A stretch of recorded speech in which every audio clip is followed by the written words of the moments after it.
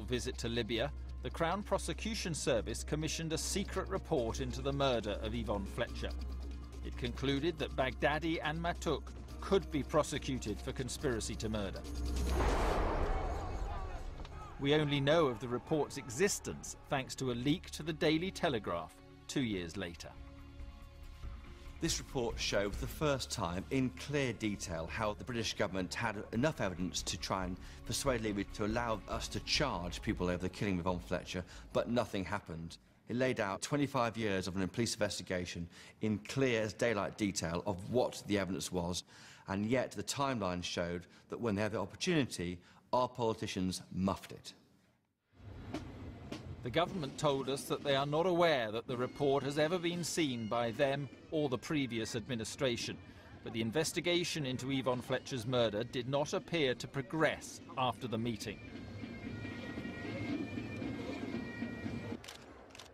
However, the normalising of relations did allow trade deals to be struck.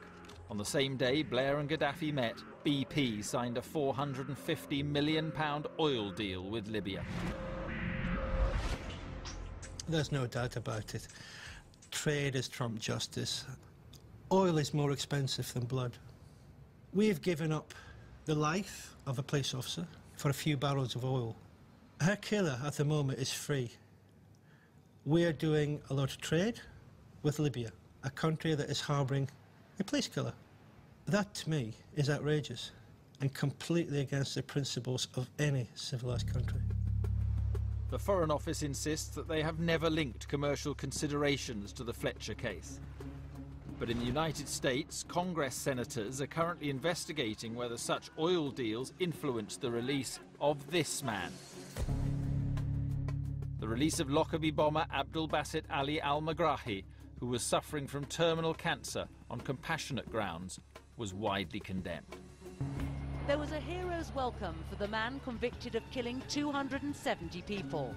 The Scottish government firmly denies that oil deals played any part in his release. But Al Megrahi's return immediately raised hopes that perhaps a deal could be done that would assist the investigation into Yvonne Fletcher's murder. For those close to Yvonne Fletcher, it was a huge opportunity. There's a chance here for El Megrahi to go back to Libya, and in return, Britain received people who could be charged for the killing of Yvonne Fletcher, possibly in a third country. But Baghdadi and Matuk are no ordinary citizens of Libya. They are close confidants of Colonel Gaddafi, who have thrived under his patronage. They are the inner circle of Gaddafi. They have been handpicked by Gaddafi 30 years ago. They have been groomed by him. They have been indoctrinated by him. So it's, it's a relationship between, if you like, uh, a, an absolute leader and his followers or a teacher and students. They look to him as, as, as the leader, as the mentor, as the inspiration. That's, they get all their orders from him, all directives from him, and they deal, most of them, they deal with him directly. The Metropolitan Police say they're committed to identifying those responsible for killing Yvonne Fletcher, and officers visited Libya in August this year but they will neither confirm nor deny whether they have ever interviewed Baghdadi or Matuk. Today they have key jobs in the administration of Libya.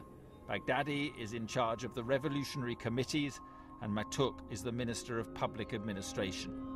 Their elevated status sickens the union of rank and file police officers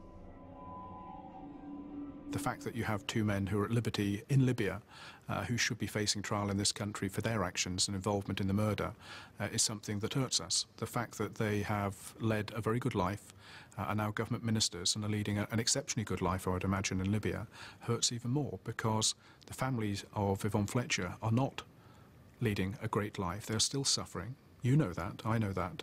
And a lot of police officers are still deeply hurt by what's happened to one of their colleagues there is injustice there and it needs to be righted.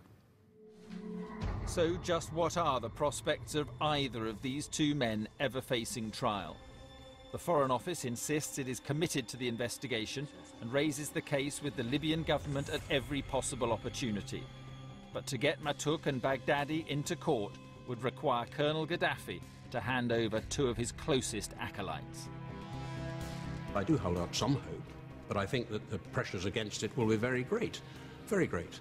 Um, one of the difficulties about reform in Libya or in any country more generally is that if you talk about reform, you talk about some kind of putting right the wrongs that were done in the past, that implies that people who were guilty of crimes in the past are going to be punished. Well, you can't expect them to be very enthusiastic about that. They'll be moving heaven and earth to make sure it doesn't happen. But surely a young woman who was murdered in her prime whilst doing the job she loved deserves better than this. For those close to Yvonne Fletcher, the best way to honour her memory would be for someone to be brought to justice.